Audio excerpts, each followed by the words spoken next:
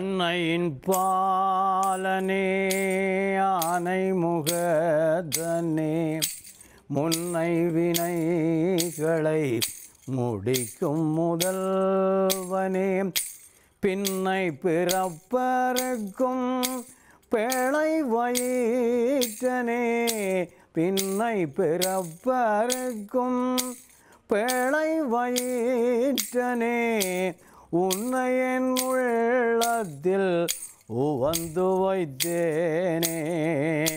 உன்னை என் உள்ளத்தில் உவந்து வைத்தேனே. அஞ்சனமையிடும் ரஞ்சனியை எந்தன் நெஞ்சுரை அன்னையை நின்மலரூபியை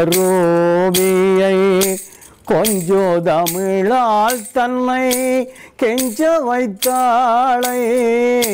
தஞ்சமென அவள் தாழ் தொழுதேனே. ஏ.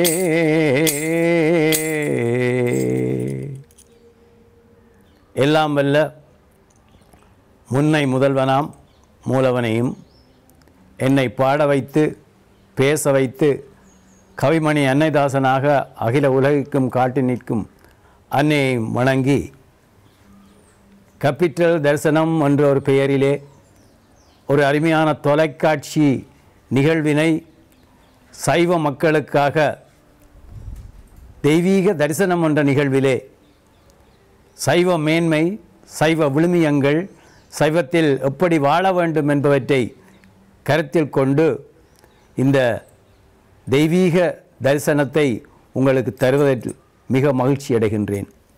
உண்மையிலே இந்த கேபிட்டல் தரிசனம் நிறுவனத்தினர் அகில உலகத்திற்கும் இருக்கின்ற சைவ மக்கள் சைவத்திலே வாழ்வாங்கு வாழ வேண்டும். குறிப்பாக இளம் பிள்ளைகள் ஆலயத்துக்கு வர வேண்டும்.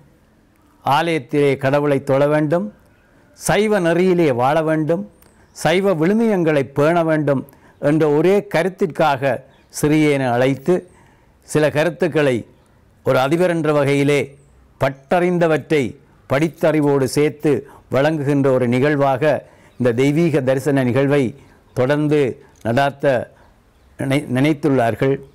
எனவே இப்பொழுது முதலாவதாக இந்த தெய்வீ தெய்வீக தரிசனம் நிகழ்விலே முன்னை முதல் நாம் அந்த கணபதி வணக்கத்தை பற்றி உங்களுக்கு சொல்ல ஆசைப்படுகிறேன்.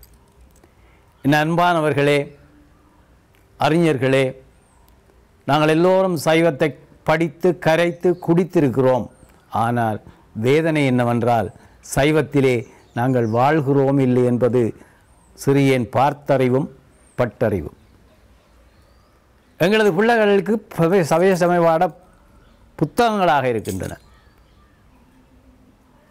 ஆர் ஆரம்ப கல்வியில் தொடக்கம் ஓஎல்ஏல் ஏன் பல்கலைக்கழகத்திலே கூட இந்த சைவத்தை ஒரு பாடமாக எடுத்து படிக்கின்ற ஒரு சந்தர்ப்பம் எங்கள் இலங்கை திருநாட்டிலே உள்ள கல்வியாளருக்கு தான் கிடைக்கின்றது. அப்படி இருந்தும் நாங்கள் எல்லோரும் பட்டங்கள் பெற்றுவிட்டோம் ஆனால் சைவத்திலே வாழவில்லை என்ற ஒரு வேதனையான செய்தியை உங்களுக்கு சொல்ல ஆசைப்படுகிறேன். எனவே தான் இந்த கேபிட்டல் தரிசனம் நிகழ்வூடாக தெய்வீக தரிசனத்தில் நாங்கள் சமயம் என்பது பேசுவது அல்ல அது வாழ்வது. குறிப்பாக எம் இளஞ்சரார்களை மையப்படுத்திய நிகழ்வாக இவற்றை கொண்டு போக ஆசைப்படுகிறேன். என் அன்பானவர்களே நாங்கள் எந்த ஒரு காரியத்தை தொடங்கினாலும் விநாயகனை தொட்டுத்தான் அந்த வணக்கித்தான் வணங்கித்தான் எங்களுடைய நிகழ்வுகளை கொண்டு செல்கின்ற அந்த மரபு எங்களிடையே இருக்கிறது. அச்சிவன் நூரை ரதம் அச்சது போடி செய்த அதிதீர. அழகாக அருணகிரி பேசுவான். அச்சிவன் உரை ரதம் அச்சது பொடி செய்த அதிதீரா. இந்த விநாயகனுக்குரிய பண்பு என்னவென்றால் என்ன காரியத்தை செய்தாலும் தன்னை திணைத்து தொடங்கவில்லை என்றால் அப்பனுக்கே பாடம் படிப்பித்தவர்கள் எங்கள் ஆண்டவர்கள். என் அன்பானவர்களே சமயம் என்பது பேசுவது அல்ல என்று சொன்னேனே. முதலிலே பாருங்கள் இங்கே விநாயகன் மூத்த பிள்ளை. அப்பன் நிறந்துண்ணி ஆத்தாள் மலை நீலி ஒப்பரிய மாமன் உறுதிரிடி. சப்பைக்கால் அண்ணன் பெருவயிரன் ஆறுமுகத்தானுக்கிங்கே எண்ணும் பெருமை இவை.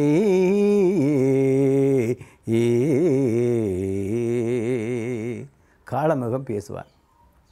அப்பன் இறந்துண்ணி ஆத்தாள் மலை நீலி ஒப்பரிய மாமன் உறுதிரடி பச்சை கள்ளன். சப்பைக்கால் அண்ணன் பெருவைரன் இந்த மூத்தவன் விநாயகன் இருக்கிறானே அவன் பெருவைரன் ஆறு முகத்தானுக்கு இங்கு எண்ணும் பெருமை இவை. இந்த வேலன் இருக்கிறானே இந்த கந்தன் என்று சொல்லுகிறீர்களே அவன் பெருமைகள் ஐயா இது. என்னடா? பெருமை என்று போட்டு சிறுமியை பற்றி தானே சொல்லி கொண்டு அப்பன் இருந்தன பிச்சைக்கார பயல். அப்படி யாரும் சொல்லுவீங்களா அவங்களோட அப்பா என்ஜினியர் ஒரு டாக்டர் ஒரு பெரிய லோயர் என்று சொல்லி தான் நாங்கள் ஆசைப்படுவோம். ஆனால் அவன் சொல்கிறான் பாருங்கள் அப்பன் இறந்துண்ணி. அது ஒரு பெருமை ஐயா. பிச்சை எடுக்கிறது பெருமையாண்டு கேட்க போகிறீர்கள். என் அன்பானவர்களே எங்களுடைய பாவ வினைகளை எல்லாம் போக்குவதற்காக எம்பெருமான் இறைவன் பிச்சாடன வேடம் கொண்டு இறைவன் இறந்ததாக வரலாறு காட்டி நிற்கிறது அப்படிப்பட்டவன் அப்பன். பாருங்கள் அப்பா அதாவது அப்பா அடுத்தது மாமன் கண்ணன் ஒப்பரிய மாமன் தம்பி வேலன் அண்ணன் பிள்ளையார் மாமி லக்ஷ்மி இப்படியாக ஒரு உறவு முறை குடும்பமே ஆலயம். குடும்பம் தான் எங்களுடைய இறைவன்ற மூர்த்தங்களை பார்த்தீர்கள்னால் சமயம் என்பது வாழ்வோடு இருக்கிறதை பார்ப்பீர்கள். சைவம் என்பது பேசி போட்டு போவதல்ல. அப்பா அம்மா மாமன் மாமி சகோதரம் அந்த ஒற்றுமை வாஞ்சியை வளர்ப்பதற்கு வழிகாட்டுவது நீங்கள் எல்லாம் நாங்கள் குடும்பமாக இருக்கிறோம். நீங்களும் இதைப்போல வாழுங்கள் என்று சொல்லுகின்றது எங்கள் சைவம். இந்த பெருமையை நீங்கள் பார்க்க வேண்டும். எத்தனை பேர் இந்த கண் கொண்டு பார்த்தீர்கள் என்றுதான் இப்போ கேள்வி. அது மட்டுமல்ல நண்பானவர்களே பாருங்கள் முன்னை விநாய விநாயகனை தொட்டு எல்லா காரியங்களும் செய்ய வேண்டும் என்று சொன்னவர்கள் அங்கே அந்த விநாயகனுக்குரிய வாகனமாக எலியை கொண்டார்கள். முருகனுடைய வாகனம் மயில் அம்பாளின்ற வாகனம் சிங்கம் அப்பன்ற வாகனம் பசு எருமை எருது. இப்படியாக ஒன்று ஒன்று பிடிச்சி தின்னுடும் ஐயா. கொஞ்சம் சிந்திச்சு பாருங்கள். இதை இந்த வாகனங்கள் எல்லாம் ஒரே குடும்பத்துக்கு இருக்குது? இதை வேறு ஒன்றுமல்ல எங்களுக்குள்ளே உள்ள குரங்கு குணங்கள் குரங்கன்னு சொல்லுவீங்கள். குணங்கள். எருமை குணம் மாட்டு குணம் இருக்கிறது. புலி குணம் இருக்கிறது. ஐயப்பனுக்கு புலி. மயில் அழகு எலி பதுங்கி தானியங்களை குறைக்கும். இது எல்லாம் பாம்பு இப்படியாக எல்லாம் சேர்ந்த கொடுமைகள் அருமைகள் பெருமைகள் நிறைந்த எல்லாம் வாழ்க்கைக்கே கிட கிடக்கின்றது இருக்கின்றது. அந்த வாழ்க்கை என்பது இப்படித்தான் இருக்கும். ஆகவே இதை கண்டு நீங்கள் பயந்து போகாதீர்கள். எல்லாத்தையும் அடக்கி அந்தந்த இடத்தில் வைத்து கொண்டால் அவை எல்லாம் சௌக்கியமே என்று சொல்வார்கள். யாரும் இருக்கும் இடத்தில் இருந்து கொண்டால் எல்லாம் சௌக்கியமே என்று சொல்வான் கண்ணதாசன். ஆக எங்களுடைய மதம் என்பது வாழ்வியலிலே ஒரு குடும்பமாக தெய்வத்தை காட்டி இந்த தெய்வத்தினூடாக மக்களே நீங்களும் அந்த மாதிரி வாழுங்கள் என்று சொல்லுகின்ற ஒரு சைவ விழுமிய மேன்மையான கருத்தை தாங்கி நிற்பது எங்களுடைய கடவுள் வழிபா வழிபாட்டு முறை என்பதை நீங்கள் இந்த தெய்வீக தரிசன நிகழ்விலே அறிந்து கொள்ளுங்கள். நான் நினைக்கிறேன் இந்த நோக்கத்தில் இந்த கண்ணில் ஒரு பார்வை ஒரு பார்வை பலர் பலவிதமாக பார்ப்பார்கள். எனது பார்வை இப்படியாக அமைகின்றது. ஆக எங்களுடைய வாழ்க்கையிலே இந்த தெய்வங்கள் எப்படி தங்களுடைய உறவுகளை பேணி காத்து அங்கே தெய்வீக நிலையில் வாழுகின்றார்களோ அதேபோல வீட்டிலேயும் அப்பாவின் சொல் கேளுங்கள். அம்மாவின் சொல் கேளுங்கள். மூத்தோரின் சொல் கேளுங்கள். மாமாவின் சொல் கேளுங்கள் மூத்தவருக்கு பணியுங்கள். ஆக ஒழுக்க விழுமியம் அங்கே இருக்கிறதா இல்லையா பாருங்கள். ஆக சமயம் என்பது கும்பிடுவது மட்டுமல்ல. அதனாலே தான் மணிவாசகன் சொல்லுதான் சொல்லிய பாட்டின் பொருள் உணர்ந்து சொல்லுவார். செல்வர் சிவபுரத்தின் உள்ளார் சிவன் அடிக்கு பல்லோரும் ஏத்த பணிந்து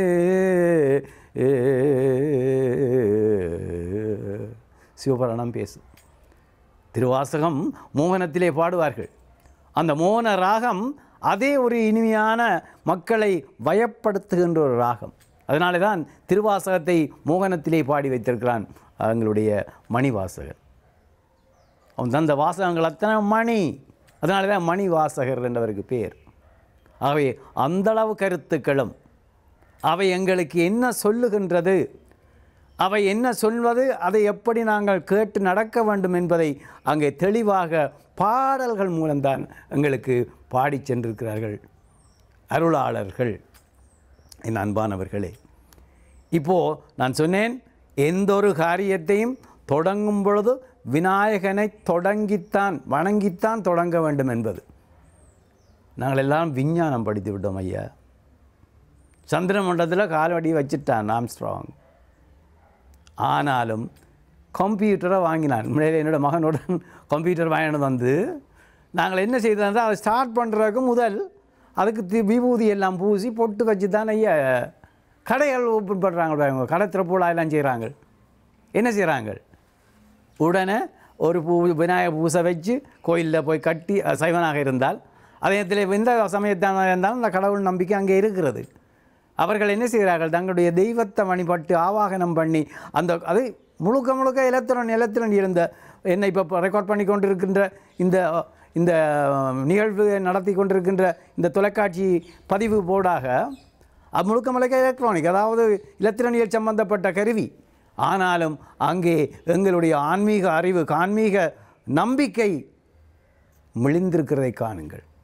இதுக்கு கூட அங்கே குறிவைத்து பொட்டு வைத்து தான் ஒரு சைவன் தன்னுடைய இந்த நிகழ்வை ஆரம்பிப்பான்.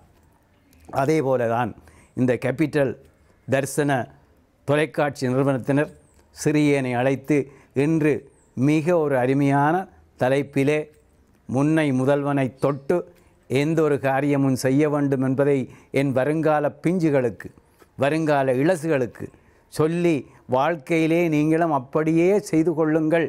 ஒன்றொரு ப ஒரு பாடத்தை ஒரு ஆதி ஆசிரியனாக அதிபராக இருந்தவன் ஆசிரியனாக உங்களுக்கு இப்பொழுது போதிக்கின்ற ஒரு தன்மையை இந்த தெய்வீ அதாவது தெய்வீக தரிசனத்தினூடாக த- தரிசனத்தினூடாக எங்களுடைய கேபிட்டல் தரிசன நிகழ்வுகள் தந்திருக்கிறார்கள். எனது அன்பானவர்களே மீண்டும் ஒரு சந்தர்ப்பத்திலே நாங்கள் இந்த தெய்வீக தரிசன நிகழ்விலே கேபிட்டல் தரிசன நிகழ்வினூடாக நீங்கள் என்னொன்றை மாந்தலாம் என்று சொல்லிக்கொண்டு வாய்ப்புக்கு நன்றி கூறி உங்களது அன்பு விடைபெறுகிறேன். நன்றி வாழ்க வளர்க.